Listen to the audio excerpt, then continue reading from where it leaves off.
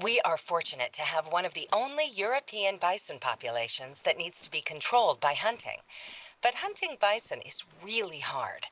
They leave very few tracks, are mostly silent, and can take most high caliber rounds without flinching. Oh, and you don't want to just wound them. They can get quite dangerous.